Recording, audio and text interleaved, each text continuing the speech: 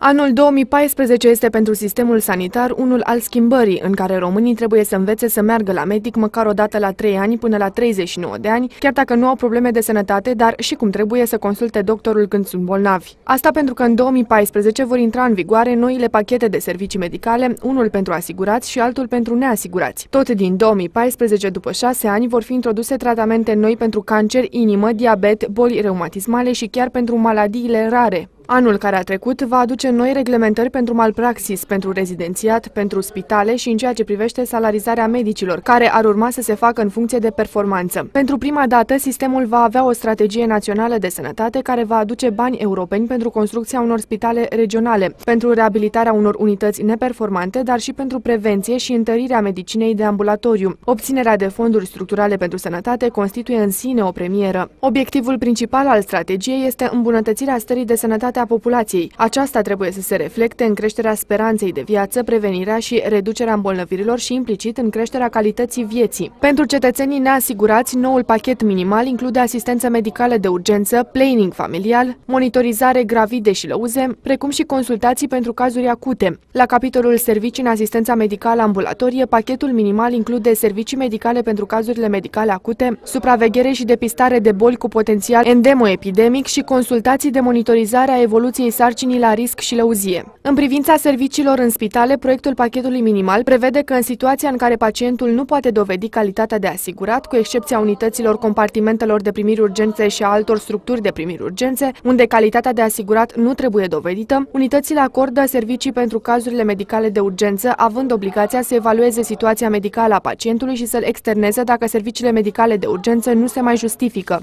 Noul pachet de bază pentru cetățenii asigurați prevede o singură consultație preventivă la 3 ani făcută de medicul de familie pentru persoanele asimptomatice între 18 și 39 de ani și cel mult două consultații în 3 luni în cazul pacienților cu risc normal care au o problemă nouă sau acută de sănătate. Totodată, noul pachet de bază cuprinde servicii medicale de urgență, servicii de prevenție, numărul și tipul consultațiilor sau analizelor de evaluare a riscului, urmărirea periodică a persoanelor cu risc de îmbolnăvire, medicina de familie, număr de consultații, creșterea numărului de servicii care pot fi acordate de medici de familie, servicii în ambulatoriul de specialitate, servicii paraclinice, servicii de spitalizare, îngrijiri medicale la domiciliu, medicamente cu și fără contribuție personală în tratamentul ambulatoriu, precum și materiale sanitare specifice pentru tratamentul în ambulatoriu al bolnavilor incluși în unele programe naționale de sănătate cu scop curativ.